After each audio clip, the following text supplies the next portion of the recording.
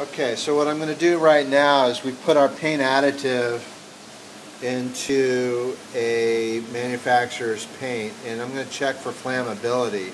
We already know it's more chemical resistant, cleanability, that type of thing. So the one here on the left does not have the additive. The one here on the right has the additive. I'm going to use a propane torch and I have a thermal thermometer and uh, we're going to see what we get as far as burn goes.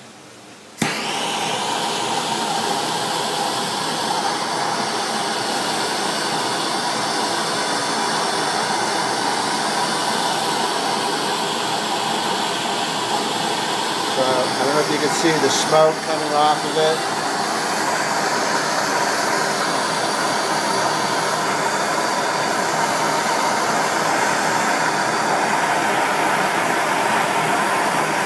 Okay, so it caught fire at 690, 700 degrees. You can see the smoke, the smoldering, and the fumes. The paint blistered, as you can see here. So now we're going to do the same thing on the piece with the paint additive.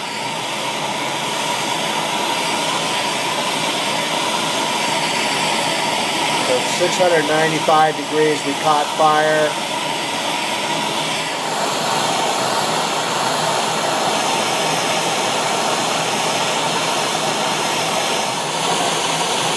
Six hundred degrees, uh, getting a little color change. Getting a little discoloration now, but I've been running this flame on here for, for several minutes now.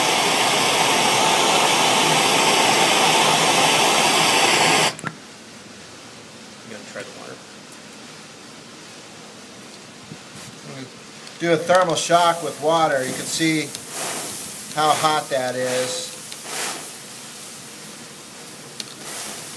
And all I'm getting is steam coming off of it. Uh, no fumes.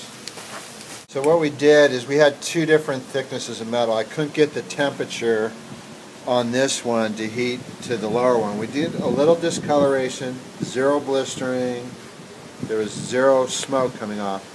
So this side has the additive in it. The opposite side here is just the paint without the additive. So we're going to do the same thing and, and see what the results are.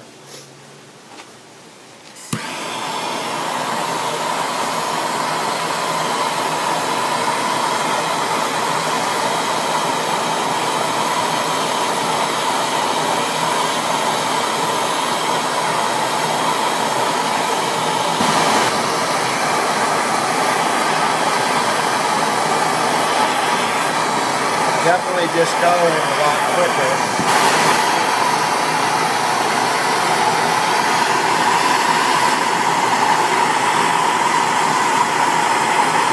You can smell the fumes.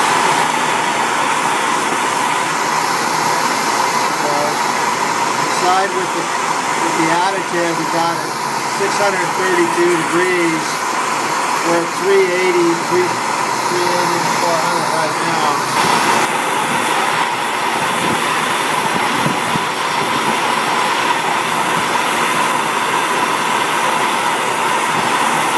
Actually burned through it down the metal here. This is, it's coming off. four, uh, 450. So. The quartz actually was a barrier to the... The quartz. Wow.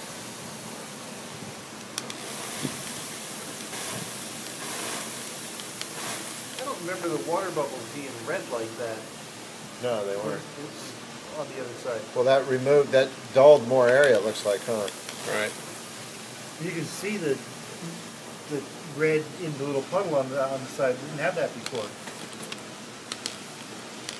Yeah, I don't think we removed any paint on the other side. No, no paint came off. You, you can see the red pigment. See the paint on the on the ground here, the red pigment? Right.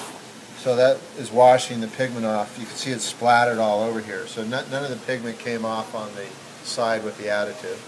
So what we did is we heated this to approximately 600 degrees with a propane torch. This is the side with the additive. We've been able to clean the side with the additive uh, from graffiti with a permanent marker. We did get a color change where we were focusing the flame. Uh, the coating looks intact. The opposite side, which doesn't have, uh, is more destroyed. It was also uh, off-gassing and, and there were there were fumes. So even though we've tried to destroy it, uh, we're going to check cleanability. So again, I'm just going to take the permanent marker. So up here we didn't have that heat, so I'm just going to make this line all the way through.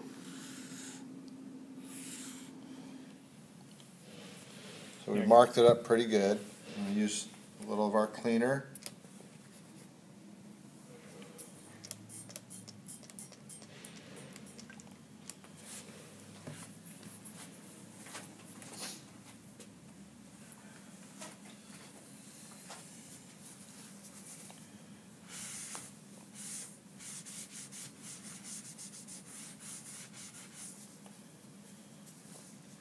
Clean, clean the marker off, but you see no paint transfer, it didn't turn red.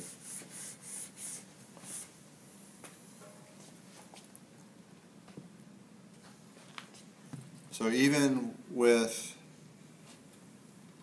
a propane torch hitting it, uh, it didn't change its performance value and its cleanability. Put the same cleaner on. So again, we have a white towel.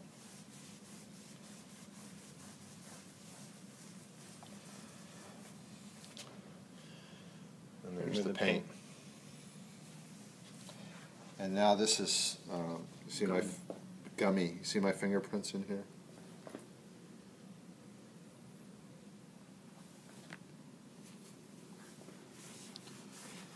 It's completely removed uh, the sheen of the paint. Well, the paint's just coming off because we're using a, a paint remover, a graffiti remover. There's still shadowing, however, of the, the marker through there. Yep. Again, nothing happened to this side. No, no paint transfer at all. So this is the side we did with the additive. This is the side without the additive. So we're actually removing some of the paint. We saw some discoloration right here. And when we cleaned it, when we did the graffiti on there, that discoloration went away. So that was some type of residue from, from the propane. Or conversely, on the backside, you can definitely see, you know, it did get through the paint. So what we thought was a surface issue with, with the flame uh, was just residue.